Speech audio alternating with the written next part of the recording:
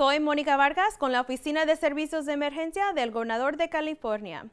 Hoy le queremos demostrar lo que debe hacer durante un terremoto. Queremos que recuerden estos tres pasos para protegerse cuando la tierra empieza a temblar. Lo primero que debe de hacer durante un terremoto es agacharse.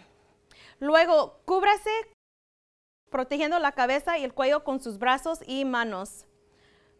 Luego, sujétese, sujétese firme hasta, hasta que pare el temblor.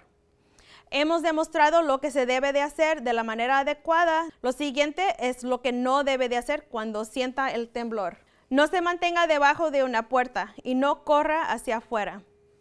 Para más información sobre agáchase, cúbrase y sujétese, vaya a shakeout.org y puede encontrar más información sobre cómo prepararse para una emergencia en nuestro sitio de web caloes.ca.gov.